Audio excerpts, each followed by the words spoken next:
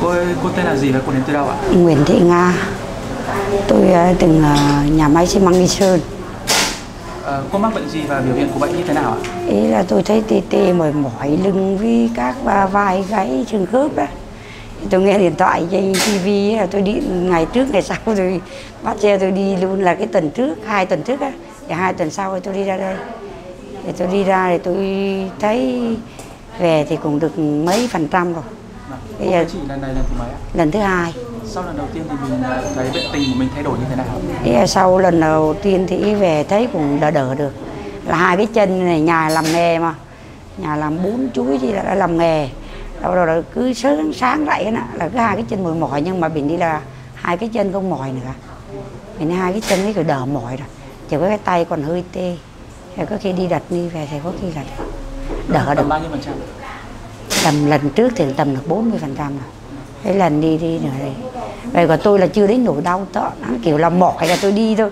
Chứ không phải để cái mà đau tớ Trước đây thì cô có đi điều trị ở đâu chưa? Trước đây thì tôi đi 108 một lần đi bạch mai hai lần. Nhưng lấy thuốc tây về uống rồi xong đó rồi cũng được may được ít tháng rồi xong rồi thôi thôi.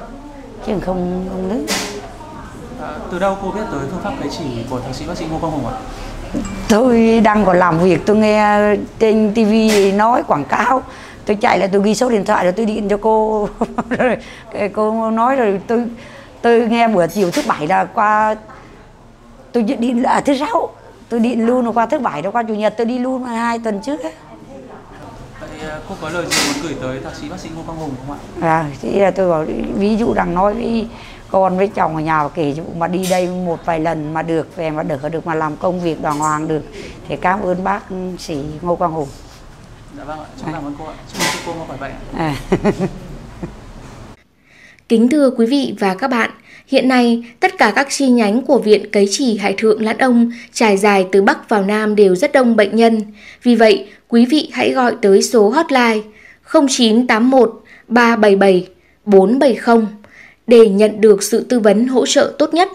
Cảm ơn quý bệnh nhân đã tin tưởng Viện Cấy Chỉ Hải Thượng Lãn Ông trong bao năm qua. Chúng tôi sẽ cố gắng mở thêm nhiều chi nhánh hơn nữa để quý bệnh nhân không phải đi xa mà vẫn tiếp cận được phương pháp cấy chỉ rất hiệu quả này. Viện Cấy Chỉ Hải Thượng Lãn Ông chúc bệnh nhân luôn khỏe.